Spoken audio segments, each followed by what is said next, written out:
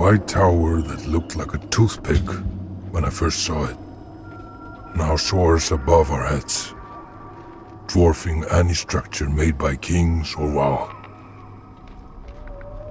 This is where our troubles began.